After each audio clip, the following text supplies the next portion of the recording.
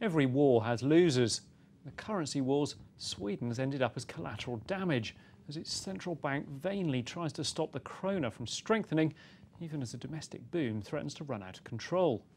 Today, Sweden's Riksbank added another 65 billion krona to its quantitative easing programme, buying government bonds, and it pushed forward by six months its prediction of when it'll end up raising rates, which are now at a historically low level of minus 0.35%.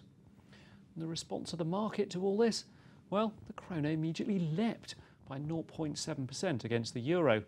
Traders have concluded that the Riksbank wasn't as committed to keeping the krona down as it appeared. Investors are usually shy of fighting against a central bank, but in this case, they're merely betting that Sweden will be caught in the blast zone of the next round of ECB stimulus. The Riksbank QE is going to involve buying up almost a third of the country's government bonds, but compared to the size of the economy, it's heavily outgunned by the Eurozone's own currency debasement. You can see that on here.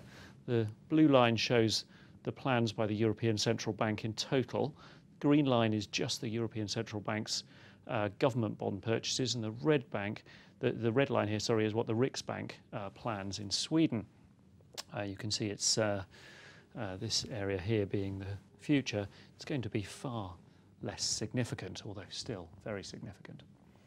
Now, Sweden and its central bank have a much bigger problem than this, though, and it's one that's shared to a lesser extent by both the US Federal Reserve and the Bank of England. The problem is that no matter what the central bank does, it doesn't seem to be able to get to its inflation target. The result of its extraordinary intervention and negative rates is that the housing market's overheating, household borrowing's rising rapidly, and the economy is booming, with GDP rising at the fastest rate in the developed world in the second quarter, which is the latest one reported.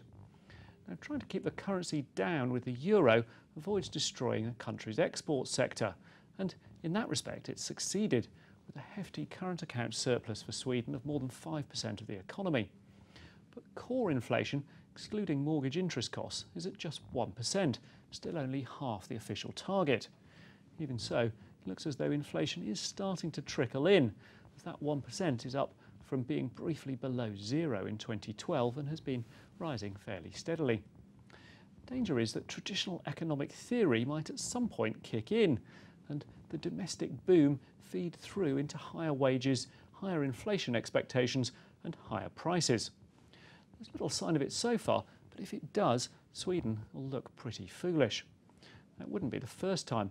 The Riksbank raised rates aggressively in 2010 as the soar-away economy pushed up uh, inflation, and then it had to slash them again when the economy swooned the following year. On here you can see real GDP growth in blue. This was the big boom in 2010, which then turned to bust uh, in late 2011. Uh, and in red, here's the Swedish policy rate. You can see the sharp rise here uh, from virtually zero during the crisis up to 2% uh, by the end of 2011 before it was then cut all the way back to zero uh, at the start of this year and now negative. As a result of this, central bank watchers everywhere hold up Sweden as an example for other central banks of the danger of raising rates too early.